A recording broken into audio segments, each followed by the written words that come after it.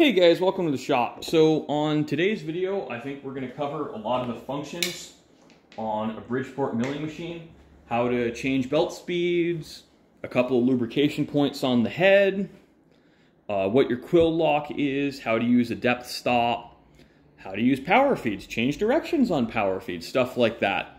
So first things first, I'm gonna show you lubrication points um, unless they've been rebuilt, the vast majority of these heads have open bearings that need to be lubricated every time you use the machine.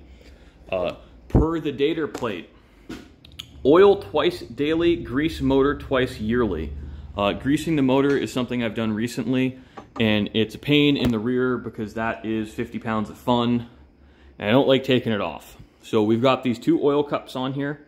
Uh, this oils your bull gear, this oils the spindle and the power down feed oil them both. Um, if there's not a puddle under your machine, you're not oiling your Bridgeport enough. That's just my opinion on it.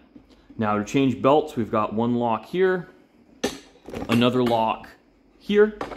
Uh, these are both right-hand threads, so this one pushed to the rear, other one pulled to the front. Uh, this is the motor pivot, so when you loosen this and loosen that, the motor will just swing forward, give you enough relief on belt tension to change speeds. Uh, this is your low gear selector. So now we have the machine in low gear. Uh, that is spindle reverse, so we're going to run the motor in reverse to turn the motor clockwise. Now this spindle now is turning at 80 RPM. You can actually see how slowly we're spinning. This now has about 65 foot-pounds of torque. This will absolutely break fingers if you do something stupid. Guys, don't do something stupid with these machines. They can hurt you very badly. Uh, but to go back into high range, you turn the selector forward, disengage that lever, and now we're running in high range. This is 660 RPM.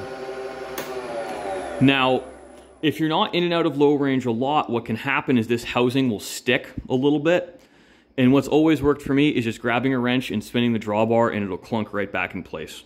Don't know why, but that just works for me. And now to our next selector lever. To select power down feed, disengage feed worm when not in use. This is pretty important. You'll wear this out. And also stop machine before engaging feed worm. Do not do this with the machine running. You'll have to rebuild your entire power down feed. That is not a fun or pleasant proposition that cost a lot of money, guys. So with the machine running, you'll see here, this selects forward and reverse. What we can do is turn the machine on, and sometimes you gotta smack it with your palm a little bit. I like to put pressure, keep pushing until it falls in place. Personal preference, that's just how I do it. Now I don't understand why on this particular machine I can never get the power down feed engaged until I move the quill down a little bit. But here we are, feeding on its own, right guys? That's pretty friggin' cool. You see the spindle coming down, arm going down? Neat stuff, right? Now actually, this also has an auto stop. This will stop itself if you set your, um, you can use this quick adjust clampy do, or you can use the micrometer adjust. This is very accurate. This is a 20 TPI thread. It absolutely does work. I find it repeatable to within two or three thousandths of an inch. Now, secondly, you can run the power down feed down, or you can run it up. So we're going to engage it again. We're running in reverse, so we can backbore parts. You know, there's a lot of functions on these heads that aren't always immediately apparent. I think looking at it, we have about 15 or 20 controls on the whole machine. So I'm running this in 6 thou per rev. With the machine running, you can select different um, boring speeds. See, we have one and a half thou, we have three thou, and we have six thou per rev. So we're running much slower now.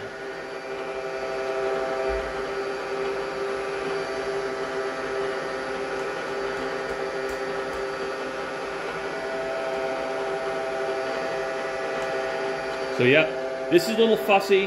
There's a ball bearing that can break. They're, when these get old, they get persnickety. Um, they're gonna. Each machine will have its quirks. Now I'm to shut the machine off because we don't need to see this anymore. Um, this machine is missing the fine feed hand wheel. So you actually can crank by hand. Uh, I know a lot of people didn't realize that Bridgeports even had that feature. I don't own one. Mine's missing. Uh, I find I've been told that everyone took them off the machines because they don't like getting smacked in the finger. Um, if you leave that on there when you're engaging or disengaging your power feed, that can be a problem. So that's just a quick video on covering a few head functions of the machine that may or may not be immediately obvious. Uh, you do have a full five inches of quill travel, which is quite nice. Uh, these do make a pretty decent precision drill press or a very low precision jig bore. I'm just going to turn around and show you. I mean, we, we've got plenty of travel. Uh, you know, reasonably beefy spindle. These are meant to stop. Don't adjust the clock spring in these so it brings everything up under spring pressure. That will cause issues. If this is also particularly stiff, there's a set screw on the back of the quill or these four bolts might be too tight. Those are both common issues to be aware of. I, on the round ram machines, don't try to use these four bolts to correct your nod. Try to use the four bolts on the turret casting or turret base.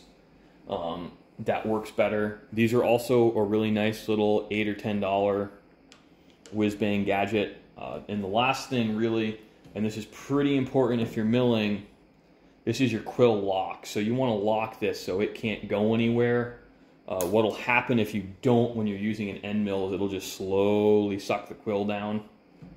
Uh, I like to have the quill as far up as is reasonably possible when milling. It's much more rigid.